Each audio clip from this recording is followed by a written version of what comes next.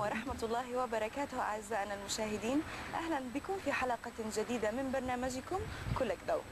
في حلقة اليوم سنناقش الحفاظ على العلاقة الزوجية من الطرف الثالث. من وكيف ومتى نسمح لشخص ثالث بالتدخل في الحياة الأسرية؟ سيجاوبنا على هذه الأسئلة ضيفي الأستاذ طارق الشميري خبير الإتيكيت والبروتوكول الدولي. أهلا وسهلا أستاذ طارق. أهلا وسهلا. آه، بداية نود أن نفهم منك من نقصد بالطرف الثالث. الطرف الثالث هو الشخص اللي نلجأ له دائما في مشاكلنا في حياتنا الزوجية. آه، نحكي له ونشكي له الشيء اللي قاعد يصير. فنقول دائما يفضل أن تكون حياتنا الزوجية هي مغلقة بين الزوج والزوجة. اثنين. أما إني أدخل طرف ثالث أنا أكون مستعد لتقبل التبعات. السلبية اللي تكون في المستقبل. يعني ما حتكون في البداية موجودة لكن مستقبلا راح تكون موجودة. أحيانا قد نستعين بشخص صديق أو شخص من العائلة أو شخص من الخارج أو مستشار أو غيرها ونقع في أزمة معينة في المستقبل. فهذا هو الطرف الثالث اللي يحاول قد يكون مصلح في البداية ثم يتحول إلى مفسد أو عدو للأسرة أو مفكك لحال الأسرة. للأسرة. آه، أستاذ طارق برأيك متى يلجأ آه، كل من الزوج أو الزوجة لإدخال أو الأخذ برأي شخص ثالث إن كان من مقربين أو آه، أو من الأهل؟ خلينا نتكلم عن ليش يلجأ الشخص ليش يلجأ الزوج والزوجة إلى إدخال شخص ثالث؟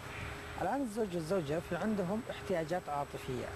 فكل شخص بين الاثنين له احتياجاته الخاصة العاطفية وله أولوياته واهتماماته. فتلاقيه إذا شعر بنقص فيها يلجأ لهالموضوع إذا جينا نفسر هذه الاحتياجات العاطفية عند كلا الطرفين عند الزوج أو الزوجة وأولوياتها بالنسبة لهم. نلاقي في كثير أشياء في الاهتمام بالنسبة لهم الاهتمام في الأمانة في الصراحة في الوضوح في الأمان العائلي في ال- الاحتياجات العائلية الاحتياجات المنزلية الاحتياجات المالية في الاحتياج ال- ال- الصداقة. الحميمية آه، في الإشباع الجنسي. هاي الأشياء كلها موجودة في اهتمامات وأولويات شخص سواء كان رجل أو امرأة لكن تختلف أولوياتها.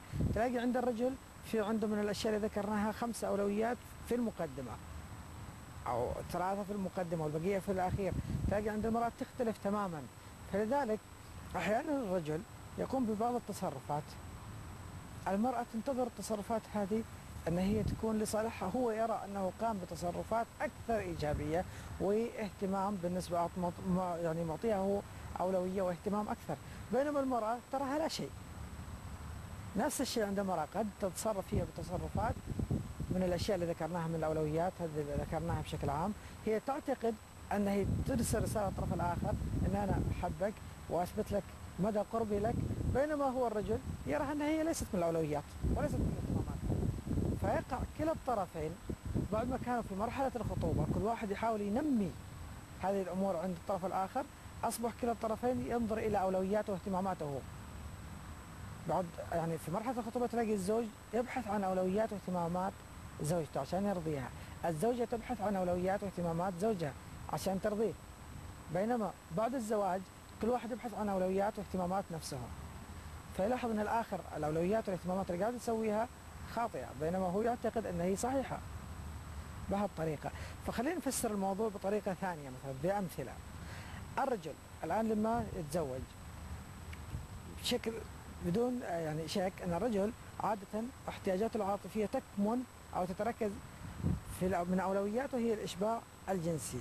المرأة من أولوياتها هي الصداقة الحميمية والمحادثة اللي هي مفعمة بالحب. فالرجل يبدأ في حالة إشباع الجنسي يبحث عن الإشباع الجنسي عند زوجته ما يلاقيه.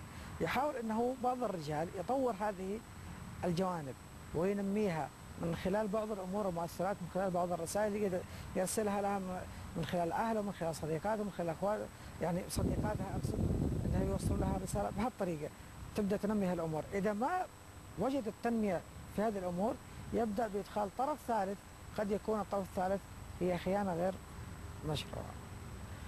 المرأة نفس الشيء. وعندما تبحث عن شخص يحادثها مثل ما كانت في مرحلة الخطوبة عن شخص يعبر لها عن الحب عن الإعجاب.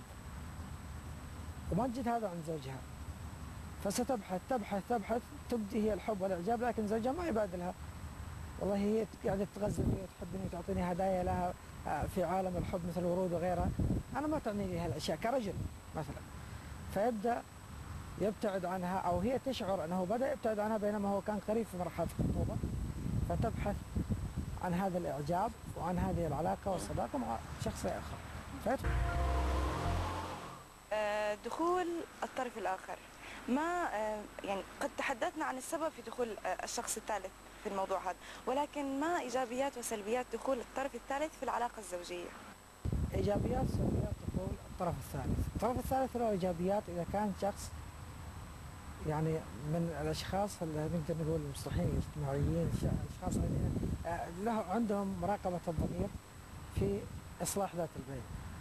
لكن أحيانا قد يكون الشخص بحسن نية يدخل في الموضوع بهدف الإصلاح لكن يبدأ الرجل مثلا يشكي لإحدى النساء عن بعض الأمور فيشعر أن هي مهتمة فيه يوميا وتسال عن الأخبار وعن الإجراءات وعن المستجدات وعن أفكارها ماذا صار منها تحاول تنصحه في بعض الأمور. فيشعر إن هذه المرأة هي قريبة منه أكثر هي مهتمة فيه. نفس الشيء المرأة. تبدأ الطرف الثالث المصلح يسألها شو هي المشكلة؟ تفصل المشكلة. يبدأ يدخل معها ليش ما تصرفتي بالطريقة الفلانية؟ طيب تصرفي بالطريقة الفلانية سوي كذا اعملي كذا. تشعر إنه مهتم فيها أكثر. يحاول إسعادها. فتبدأ تميل بدون قصد وهو يميل بدون قصد. فيشعر كلا الطرفين بانجذاب وخاصة هذه الأشياء عندما يكون الشخص صديق في العمل موجود أو جار أو من المقربين اللي يترددون علينا دائما نشعر أنه صديق العائلة من الأهل متواجد بيننا فنلاقيه دائما يشعر بانجذاب مع الطرف الآخر أنه والله الطرف الآخر فهمني أكثر من زوجي أو ال- الطرف الآخر تفهمني أكثر من زوجتي. فتلاقيه بكل سهولة بدأت العلاقة تنجذب وتنساق وتميل ناحية الحب والشوق للالتقاء بالمصلح. فهذه من السلبيات اللي غير يعني مجدية في إنجاح العلاقة الزوجية بل مفككة العلاقة الزوجية. فنقول عادة تدخل الطرف الثالث يكون تدخل ضمن فترة زمنية معنية وبحدود وبهدف الإصلاح ثم الانقطاع وليس دائما. وإذا تدخل الطرف الثالث يتدخل في وجود شخصين الزوج والزوجة. دائما ويكون محايد مع الاثنين. أما أنه يتدخل مع كل واحد لوحده بهالطريقة فتلقى أنه قد يميل لطرف آخر وقد تنتج عنها علاقات غير شرعية. أستاذ آه، طارق آه، نعرف بأن للحياة الزوجية أهميتها, أهميتها ومسؤوليتها الكبيرة. وفي بعض المراحل قد نواجه بعض المواقف التي قد نحتاج بها إلى رأي شخص قد نثق به. فبرأيك كيف يتم اختيار هذا الشخص؟ ذكرنا قد يكون هناك ناس موجودين عندنا في آه، العائلة من الأشخاص اللي هم حكماء وعقلاء ونستطيع أن آه، الكل يثني على آه، يعني حكمتهم ورجاحة عقلهم وحكمهم على الموازين والأمور ومشاكل الحياة وخبرتهم في الحياة. ورقابة الله ومخافة الله وقربهم إلى الله عز وجل هي أهم شيء.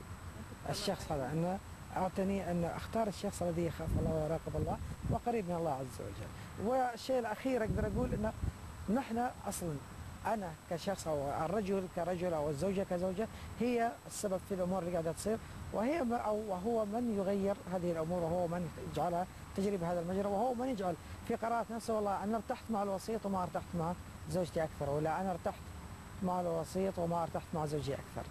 هذه الأمور تكون من قراراتنا ونحن من نقررها. إذا نهاية لحلقتنا أستاذ طارق هل هنالك أي نصيحة أخرى تود أن تهديها إلى مشاهدينا المتزوجين وغيرهم؟ نعم انه أنصح المشاهدين بشكل عام انه يعتنون حق العناية بمعرفة الاحتياجات العاطفية كل فرد. مش عيب إن أنا أسأل زوجتي أو زوجتي تسألني شو هي الاحتياجات العاطفية أو أولوياتي، شو هي الأولويات والاهتمامات اللي أريدها منها وهي تسألني شو الاهتمامات والاولويات اللي تريدها مني وأكتبها في البداية وأفهم الطرف الآخر، إذا عرفت كيف ألبي أولويات واهتمامات الطرف الآخر بجد نفسي أنا قادر على إشباع رغبات الطرف الآخر وقادر على احتواء الطرف الآخر واحتواء العلاقة من أي تدخل خارجي. شكرا لك أستاذ طارق الشميري على هذه المعلومات المهمة. أعزائنا المشاهدين نتمنى أن تكونوا قد استفدتم من حلقتنا اليوم في الحفاظ على العلاقة الزوجية من تدخل شخص ثالث أو طرف ثالث. نلقاكم في حلقة أخرى قريبا. والسلام عليكم.